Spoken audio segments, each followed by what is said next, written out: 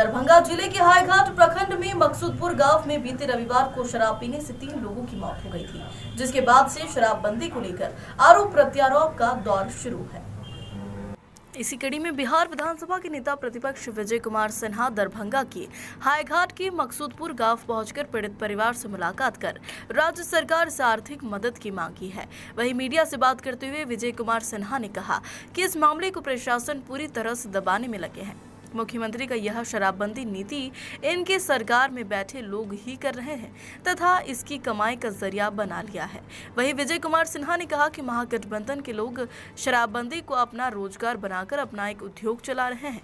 अधिकतर सत्ता में बैठे लोग दारू बालू के खेल में लगे हैं। इस खेल के कारण समाज के अंदर हत्या, बलात्कार, लूट का खेल रहे और समाज में दहशत पैदा कर रहे हैं।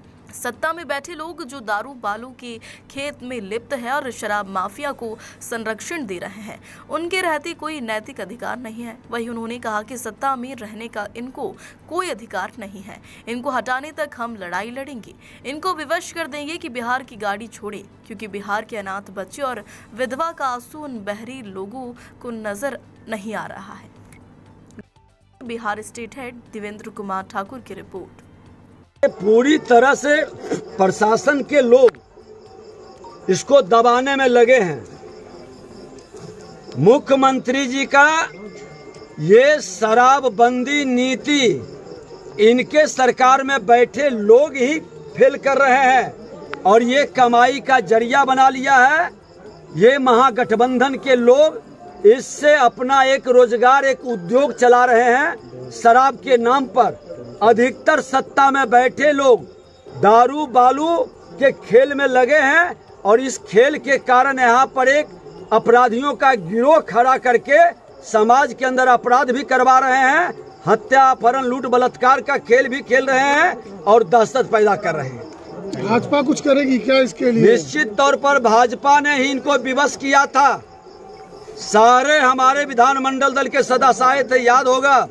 छपरा के अंदर सड़क से सदन तक हम विवश करेंगे कि ये भ्रष्ट पदाधिकारी को ऊपर कार्रवाई करे और सत्ता में बैठे, जिनको अपराधी और भ्रष्टाचारी मानसिकता के लोग हैं, जो दारू, बालू और ज़मीन माफियागिरी से जुड़े लोग हैं, उसके रहते ये बंद नहीं हो सकता।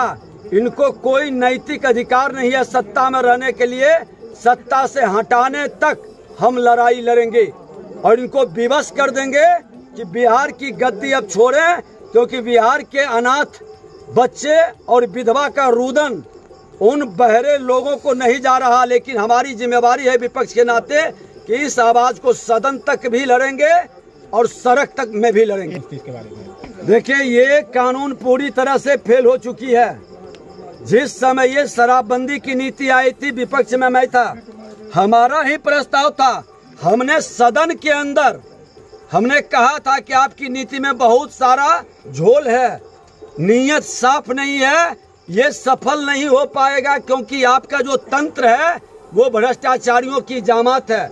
उस समय भी सोलह में हम विपक्ष में थे, लेकिन ये सरकार अपनी अहंकार में शराबबंदी हो, लोग को राहत मिले, हमने साथ दिया, समर्थन किया, लेकिन सत्ता में बैठे लोग ही जब शराब बेचवाने का काम करे शराब की नीति को विफल करने का प्रयास करे तो कैसे सफल होगा? संशोधन की ज़रूरत आपको लगती है इसके अंदर होना चाहिए? ये सरकार को कोई भी संशोधन संशोधन तो कई बार संशोधन हुआ है लेकिन कहाँ सफल हो रहा है?